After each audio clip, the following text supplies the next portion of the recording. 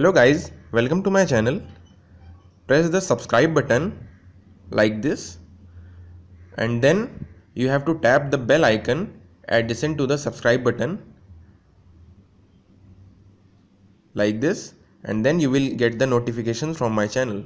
Hello everyone and welcome to my channel. In this video I will be explaining you the various important terms and definitions that are required and uh, as a mechanical engineer or mechanical engineering student each one should know the meaning of these terms along with their definitions and they are very important for exams and interviews also.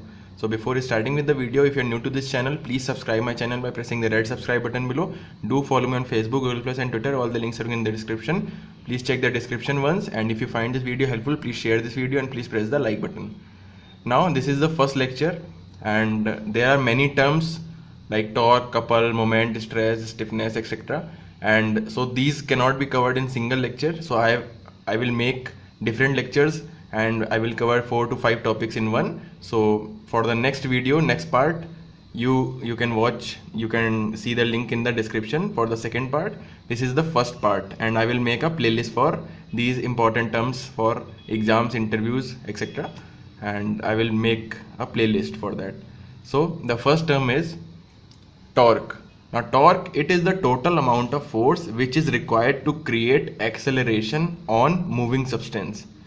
You need to tell this definition and you need to write this definition in your exam or you need to tell this definition at the time of interview and this is the universal accepted definition for torque and it is the best definition that you can tell.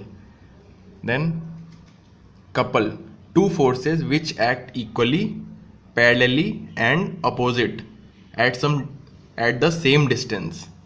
That is two forces F and F of the same magnitude in opposite direction but they act parallelly at the same distance A apart from a point. Now moment. It is the amount of moving effect which is gained for action of turning force it is the amount of moving effect which is gained for action of turning force. Stress. It is the force that can prevent equal and opposite force. It is the preventing force. If one force acts on the outside of a material, then a reactive force automatically acts to protest that force. The amount of reactive force per unit area is called stress and examples are tensile stress, compressive stress, thermal stress, etc. Now this was the first lecture and I have covered torque, couple, moment and stress. In the next lecture I would be covering 4 to 5 more terms and uh, now this this lecture series uh, it consists of around 55 to 60 such terms. So I need to make around 12 to 15 videos for covering each and every term so if you have not yet subscribed please subscribe my channel. I will i post these type of videos daily and you will get the link in the description and at the end also for the second video and third video. And i will soon soon make those videos also.